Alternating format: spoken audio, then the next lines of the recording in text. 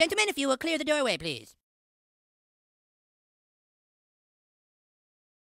oh, gee, I wonder what it used to be like in the year 1776.